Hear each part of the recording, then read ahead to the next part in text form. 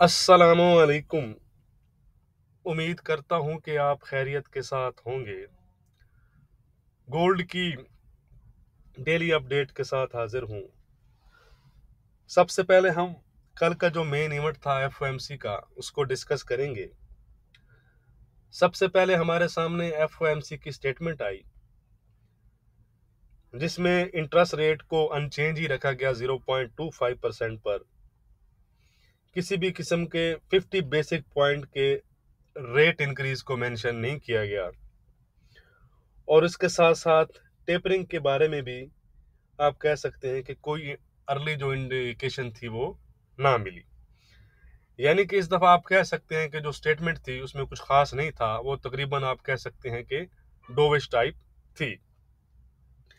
लेकिन जैसे आपको बताया था कि मेन चीज़ जो रहेगी, वो फेड चेयरमैन पावल की प्रेस कॉन्फ्रेंस रहेगी।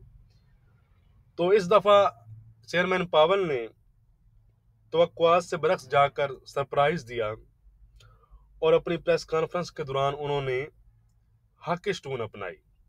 एज यूजल वो डोविश होती हैं। इस दफ़ा आप कह सकते हैं कि काम थोड़ा सा उल्ट हो गया। पहले हमें एफ़ की जो स्टेटमेंट थी, वो हाकिश मिलती थी, डॉट प्रॉट वगैरह।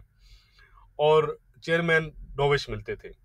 लेकिन इस दफ़ा जो स्टेटमेंट थी वो डोविश टाइप थी, लेकिन फेड चेयरमैन अपनी प्रेस कॉन्फ्रेंस के दौरान ओवरऑल ही हॉकिश नज़र आए।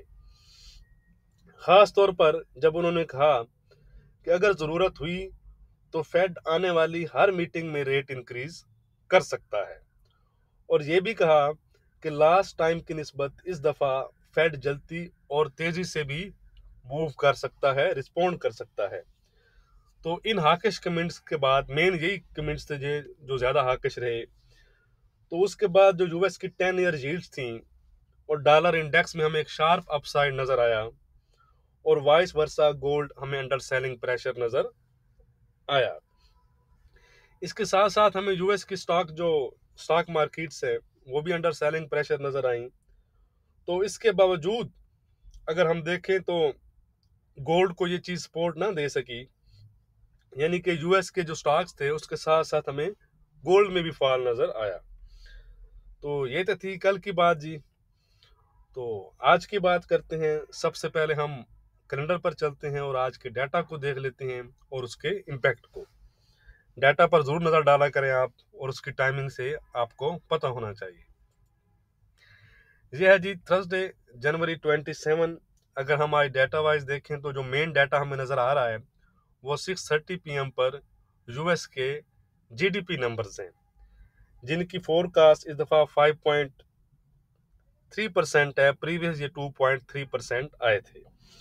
तो इम्पोर्टेंट डाटा है, याद रखिएगा, अगर नंबर अप साइड पर आते हैं अपर साइड पर आते हैं तो ये चीज़ गोल्ड के लिए नेगेटिव होगी, और अगर नंबर लोअर साइड पर आते हैं तो ये चीज़ गोल्ड के लिए पॉजिटिव होगी। इसके साथ साथ कोर डोरेबल गुड्स ऑर्डर्स हैं जॉबलेस क्लेम्स हैं, ये सब के सब सिक्स थर्टी पर आएँगे और उसके बाद एट पी पर पेंडिंग होम सेल्स नंबर्स हैं। तो ये हैं वो डाटा जो आज मार्केट पर इम्पैक्ट डाल सकते हैं और गोल्ड पर भी। तो चलें जी, हम चलते हैं चार्ट पर। सबसे पहले हम डॉलर इंडेक्स को देखते हैं। यह है जी डॉलर इंडेक्स का चार्ट अगर हम देखें तो डॉलर इंडेक्स ने हमारी तो के मुताबिक ही मूव किया है। हमारा ये था कि यहाँ से जब इसने ब्रेक इन किया तो दोबारा रीटेस्ट कर रीटेस्ट करके ये अपसाइड को रिज्यूम कर सकता है और अपने इन हाइज तक जा सकता है। अब याद रखिएगा कि इमीडिएट हर्डल गोल्ड के लिए यही लेवल है, ये जो हाई इसके पास हमें नज़र आ रहा है, ठीक है जी? अगर ये राउंड फिगर आप ले लें ये नाइन्टी सिक्स अगर मैं हाई देखूँ तो ninety six high ninety four के आस के पास के हैं। आप नाइन्टी सेवन ले लें अगर ये 97 इसने ब्रेक किया तो हमें दोबारा से चीज़ें इसके लिए और अप जाती नज़र आ सकती हैं 97, 50 और 97, 80 तक। ऑन अदर साइड यही वो लेवल है जहाँ से ये दोबारा रिजेक्ट हो सकता है और दोबारा से ये डाउन आ सकता है। तो इसलिए डॉलर इंडेक्स पर आप नज़र रखा करें फॉलो ज़रूर किया करें इसको इससे आपको काफ़ी हेल्प मिल जाएगी बाकी पेयर्स में भी ट्रेड करने के लिए। तो फ़िलहाल ये पॉजिटिव है। अगर ये यहाँ से रिवर्स होता है अपने इस रेजिस्टेंस से तो हमें फिर गोल्ड में अपसाइड नज़र आ सकता है। अगर इसने इस रेजिस्टेंस को ब्रेक किया तो मज़ीद इसमें हमें अपसाइड नज़र आएगा, जो गोल्ड के लिए चीज़ नेगेटिव होगी। ये हैं जी यूएस की टेन ईयर जील्स आप देख सकते हैं, आपको एक ज़बरदस्त बुलिश कैंडल नज़र आ रही होगी। तो इमीडिएट हर्डर इनके लिए भी 190 का एरिया है। इसके ऊपर ये दोबारा से 2 परसेंट को टारगेट कर सकती हैं, जो चीज़ गोल्ड के लिए नेगेटिव होगी। ऑन अदर साइड अब ये सपोर्ट इनको 180 की है। अगर 180 ब्रेक करती हैं तो दोबारा से ये 170 तक जा सकती हैं और इवन 160 तक जो चीज़ फिर गोल्ड के लिए पॉजिटिव होगी।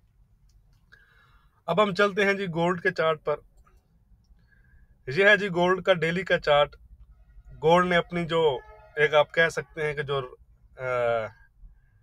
रवायत थी, उसको बरकरार रखा। काफ़ी दफ़ा हमने ये डिस्कस किया था। कि गोल्ड हमेशा इस लेवल को एक अच्छी बीरिश कैंडल से ब्रेक करता है। यहाँ पर अगर आप देखें, यहाँ पर देखें और फिर यहाँ पर देखें तो कल भी हमें डेली की एक अच्छी बीरिश कैंडल नज़र आ रही है। तो ये हमारा चार्ट था जी। आपके सामने हम रोज़ इसको डिस्कस करते थे। इसी के आसपास से प्राइस रिजेक्ट हुई है हमारे अठारह सौ बावन, इक्यावन के आसपास से। तो अब इमीडिएट सपोर्ट जो हमें नज़र आ रही है जहाँ पर, वो नज़र आ रही है 1808 से पाँच का एरिया है। ठीक है जी। इसके नीचे अगर डेली क्लोज हुआ तो गोल्ड दोबारा से सतारह नब्बे और सतारह अस्सी की तरफ़ जा सकता है। और सतारह अस्सी के नीचे निकला तो फिर गोल्ड हमें सतारह साठ और सतारह पचास की तरफ़ नज़र आ सकता है। ऑन अदर साइड अगर यहाँ पर कुरेक्शन होती है रिट्रेसमेंट होती है तो यहाँ से दोबारा से अब ये जो लेवल है 1830 का, ये अब इसके लिए एक की लेवल दोबारा से है। यानी कि दोबारा से ऐसा हो सकता है कि अगर प्राइस इस स्पोर्ट को होल्ड करती हैं तो दोबारा से आकर वो अठारह तीस को टच करें और उसके बाद डाउन साइड को रिज्यूम करें। अगर ये अठारह तीस बत्तीस ब्रेक करती हैं तो दोबारा से जाकर ये फिर अठारह पचास और अठारह साठ के एरिए तक जा सकती हैं। ठीक हो गया जी डेली चार्ट पर। अब हम चलते हैं एच फोर पर। यह है जी एच फोर का चार्ट ये चीज़ हमारी थी जहाँ पर एच फोर के लिहाज से ये इसी चीज़ को हम ले रहे थे। कल अगर हम देखें तो टेक्निकली मीटिंग से पहले ही उसने, अगर आप देखें तो इस लेवल को ब्रेक कर दिया था अठारह सौ इकतीस तीस को। ठीक है जी एच फोर में भी। और उसके बाद अगर हम देखें तो अब हमने इसने, हमारी जो लोअर सपोर्ट एरिया है, उसको भी ब्रेक कर दिया है। और फ़िलहाल 1813 के आसपास चल रहा है। तो यहाँ पर भी हमारे पास यही लेवल बन रहा है 1808 पाँच का एरिया इसके नीचे अगर निकलता है तो दोबारा से हमें अठारह सौ सतारह नब्बे और सतारह अस्सी के लेवल यहाँ पर नज़र आ सकते हैं। ऑन अदर साइड दोबारा से अठारह, अट्ठाईस, तीस का जो एरिया इसके लिए मेन हर्डल है, जैसे हमने इसको डिस्कस किया है तो इसके ऊपर निकलेगा तो फिर चीज़ें हमें इसके लिए कुछ पॉजिटिव नज़र आएँगी। ये है जी लेवल बाकी डिस्क्रिप्शन में मैं डिटेल से लेवल लिखूँगा शॉर्ट टाइम फ्रेम के भी लिख दूँगा, ज़रूर चेक कीजिएगा। मेन लेवल यही रहेंगे 1810 इज़ फ़र्स्ट स्पॉट इसके नीचे 1805 1800 सत्रह पचानवे और इसके नीचे सत्रह नब्बे पचासी तक फिर गोल्ड जा सकता है। ऑन अदर साइड अठारह बाईस फ़र्स्ट रेजिस्टेंस है, इसके ऊपर फिर अठारह तीस बत्तीस का एरिया आएगा। इसके ऊपर निकला तो अठारह बैतालीस और अठारह पचास चौवन की तरफ़ जा सकता है। अब हम चलते हैं जी, अपने लेवल देख लेते हैं कि आज हमारी क्या रेजिस्टेंस और क्या सपोर्ट रहेगी। वीडियो को लाइक ज़रूर कर दिया करें, डिस्क्रिप्शन भी ज़रूर चेक कर लिया करें। उसमें तमाम लेवल आपके काम आएँगे। तो ट्रेंड भी देख लेते हैं जी। आज जो हमारी रेजिस्टेंस रहेगी गोल्ड में वो रहेगी 1830 से 32 का एरिया इसके ऊपर अगर गोल्ड जाएगा तो ही गोल्ड पॉजिटिव होगा और फिर गोल्ड 1850 और अठारह की तरफ़ जा सकता है।